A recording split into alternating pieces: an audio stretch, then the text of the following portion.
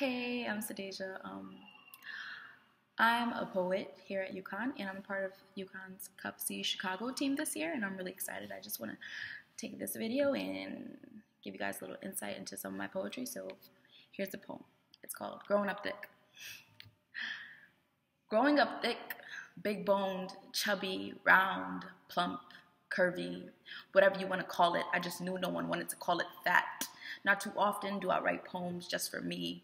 Poems for the poet behind the scenes, for the poet behind the audios, for the poet writing snugged in her sheets, for the girl 18, for the black girl 18, for the black girl 18, and this black girl body, this body, this body, this body. Not to be confused with his body or nobody's, my body. I looked at the skinny girl and envied how their clothes fit them. And I wondered, will my clothes ever love me like that? Would I ever really appreciate my body and not take it back? The day after, would I stop feeling fat?